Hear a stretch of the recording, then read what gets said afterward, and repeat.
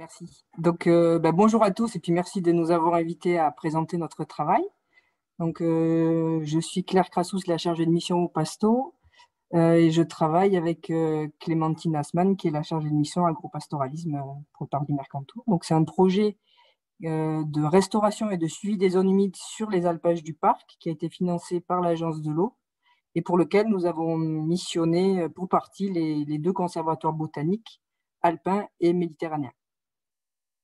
Diapo suivante.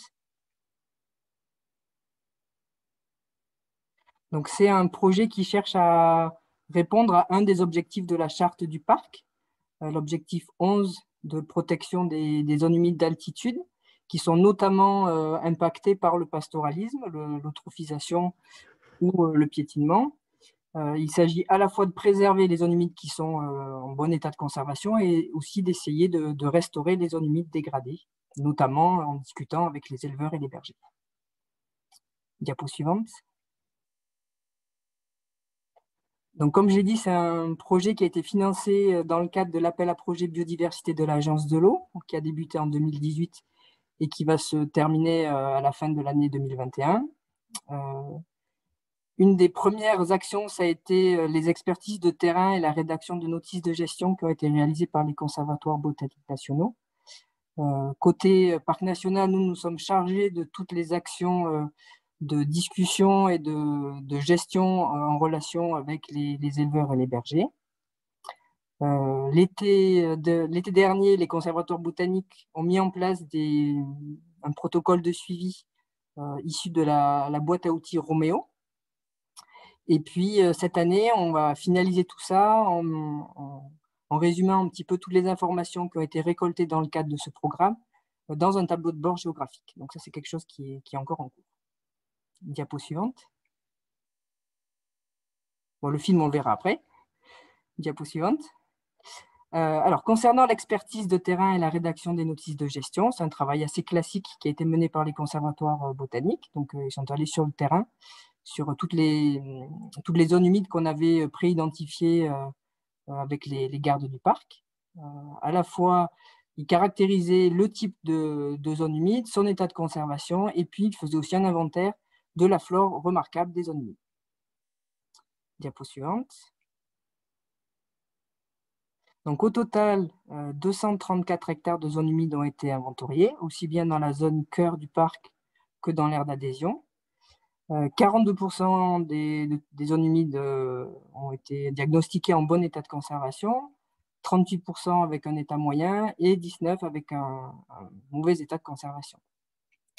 Euh, forcément, la, principale menace a été le pâturage, puisque c'était l'angle d'attaque de notre programme, de regarder d'abord les, zones humides sur les, alpages, mais on a aussi relevé d'autres atteintes qui étaient liées soit à la présence de stations de ski, donc ça s'en est d'adhésion, soit des problématiques liées à l'assainissement en site isolé, soit la fréquentation touristique aussi qui pouvait impacter ces zones.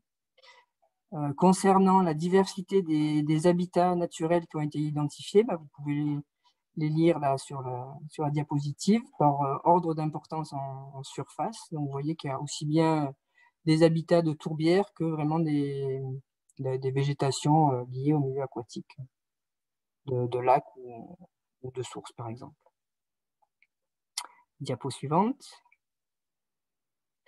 Donc, suite à ce travail de terrain, euh, alors là, on a travaillé ensemble avec les conservatoires botaniques euh, pour rédiger des notices de gestion. Donc, l'idée, c'était de faire six pages un peu synthétiques pour chaque alpage, qui résumaient à la fois les enjeux de conservation des zones humides, euh, qui présentaient les espèces emblématiques du site, et puis les espèces qui étaient indicatrices de dégradation. Donc, ça, c'est ce que vous voyez. Et sur l'autre côté, donc diapo suivante, donc sur à l'intérieur du dépliant, euh, une cartographie qui localisait les zones humides avec leur état de conservation euh, bon, moyen, mauvais, donc euh, en vert, orange et rouge. des, petits, des petites photos pour illustrer les dégradations ou au contraire les, les, zones humides qui étaient particulièrement en bon état et puis des recommandations de gestion qui pouvaient être soit d'essayer d'éviter que le, troupeau passe à proximité de certaines zones humides, soit carrément la mise en place de défense. Quand on a pu, on a essayé de, de faire valider ces recommandations de gestion en allant discuter avec les éleveurs et les bergers avant de finaliser la rédaction de ces notices.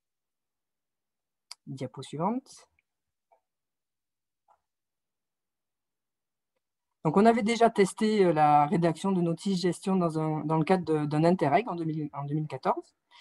Donc, euh, on avait déjà 14 notices qui avaient été faites. Là, on en a fait 31 euh, nouvelles. Donc, on a quasiment l'exhaustivité des, alpages présentant des gros enjeux de préservation des zones humides qui ont été diagnostiqués avec l'aide des conservateurs botaniques. On les a largement diffusés aussi bien aux partenaires institutionnels du parc qu'aux éleveurs et aux, bergers. Euh, on leur a remis en main propre pour, bien expliquer ce qu'il y avait dans les notices. Et donc, ça nous a permis de mettre en œuvre derrière des actions de gestion euh, un, peu plus, importantes. Alors, diapo suivante. Alors là, je vous donne un exemple sur euh, un alpage, le vallon de l'Alpe qui est situé en Haute-Tinée. On a décidé de mettre en place un défend donc, euh, ça nécessitait pas mal de, temps de discussion avec, euh, là c'est un éleveur berger en l'occurrence, c'est l'éleveur qui garde son propre troupeau. donc, qu'est-ce qu'on a regardé? On a regardé à la fois l'état de conservation des zones humides, on, on s'est intéressé aussi à l'origine et au type de dégradation. Est-ce que c'était plutôt du piétinement ou de l'eutrophisation? Est-ce que c'était des apports diffus liés à une couchade ou des apports directs? On s'est intéressé à la présence d'espèces remarquables et puis, on a croisé tout ça avec euh, la faisabilité pour, euh, pour l'éleveur pour, euh, pour faire pâturer son troupeau. Donc ben là, vous avez une, illustration. On a choisi de mettre en défense une petite partie des zones humides qui étaient diagnostiquées en mauvais état, en les choisissant le plus en amont possible et sans gêner le passage du troupeau qui, suit un biais un petit peu plus à l'aval. Voilà. diapo suivante. Donc, euh, au final, euh, on en est actuellement à 18 zones qui sont mises en défense euh, sur l'ensemble du territoire du parc, que ce soit en, cœur principalement, mais on a aussi quelques défenses en aire d'adhésion. La surface moyenne des, des défenses est 1,5 hectares. Et vous voyez que bah, progressivement, on a petit à petit augmenté la, surface des zones humides qui sont, qui sont en défense pour atteindre presque 16 hectares. Diapo suivante.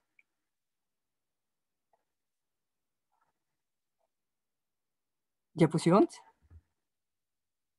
Alors, pour euh, bah, montrer un peu à quoi ça ressemble, voilà typiquement une, zone humide qu'on a pu euh, préserver en mettant en place un filet. Alors là, c'est des filets euh, qui ont été mis en place par les agents du parc. Diapo suivante.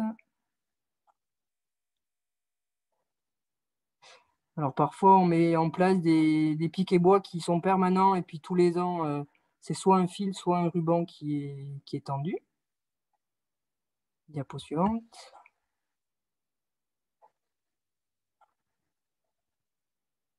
Voilà, encore d'autres exemples d'aménagement euh, qui sont mis en place. Des fois, c'est un simple fil.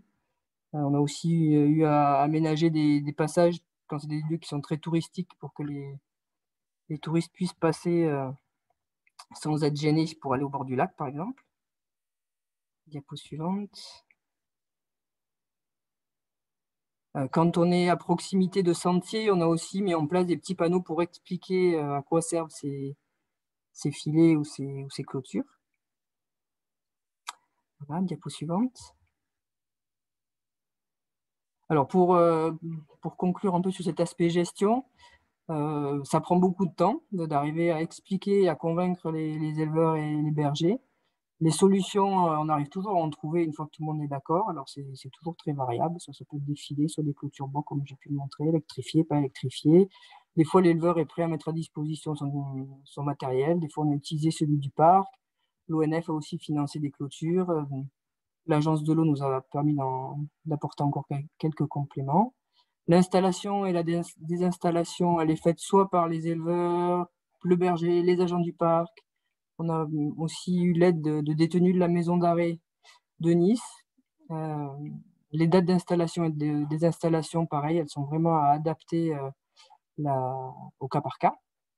Maintenant, l'enjeu commun, c'est d'arriver à pérenniser ces défenses dans la durée en essayant de les écrire dans tous les documents de gestion euh, lors de leur révision future. Diapo suivante. Alors, donc, cet été, on a, on a mis en place des, des suivis Roméo. L'enjeu, c'était essayer de, aussi de voir comment évoluer les, les, zones humides qui étaient en bon état et puis celles pour lesquelles on avait mis en place des défenses. Donc, on a choisi 10 sites, à la fois sur des sites dégradés, sur des sites où on avait des habitats qui nous semblaient plus vulnérables aux changements globaux, euh, des zones humides sur lesquelles on a mis en place des défenses, je l'ai dit, des sites accessibles. Et puis on a essayé aussi d'être cohérent avec les autres dispositifs sentinelles qui étaient mis en place sur le territoire du parc.